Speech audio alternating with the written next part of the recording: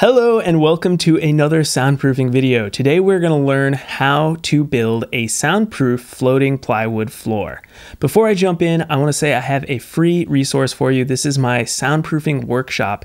It's 45 minutes of in-depth teaching explaining to you exactly the design that you're going to want to have before building your soundproof studio. To check that out, just go to soundproofyourstudio.com slash workshop and you can start watching it right away and start designing your studio like a professional. All right, let's jump into the video.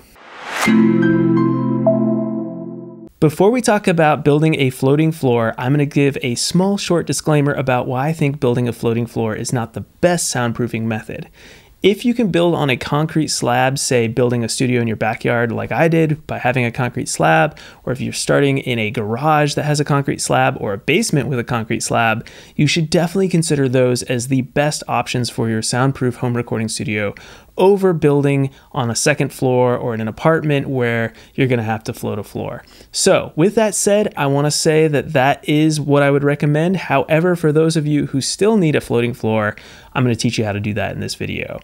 The main reason floating floors aren't ideal is because they still can transfer low frequency noise between the floor and whatever is below you. And likewise, whatever is below you can low frequency noises can still come up into your studio.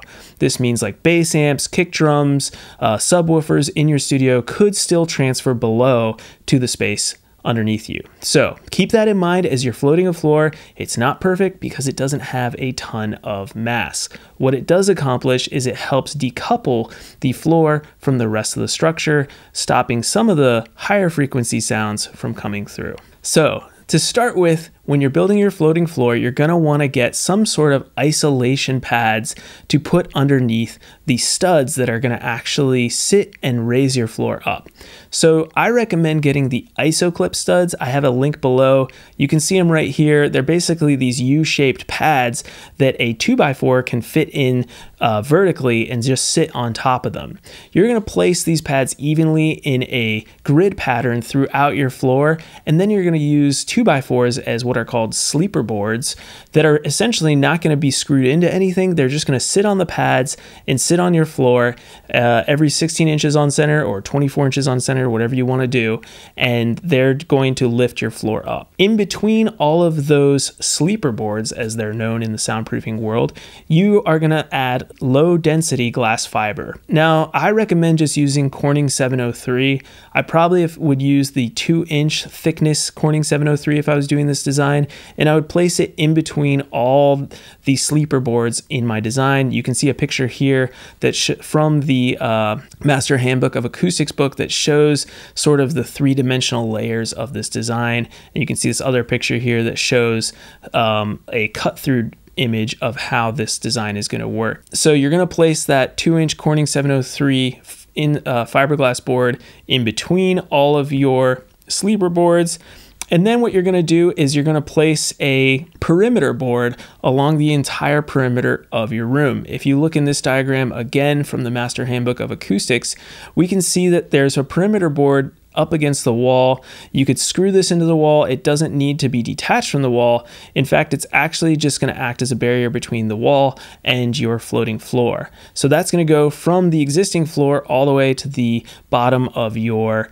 uh, finished floor. So once you've got all those in place, you can begin adding the plywood on top of your 2x4s that you have laid out on the ISO, ISO pads. So to begin with, screw in that first layer of plywood, and then you're going to screw in the second layer of plywood on top. Just make sure that the seams are going the opposite direction so that you don't have overlapping seams where air could come through and thus sound. Once you have put down your plywood and screwed it into the existing sleeper boards, then all you need to do is acoustically caulk around the perimeter of the room where the plywood and the perimeter board meet.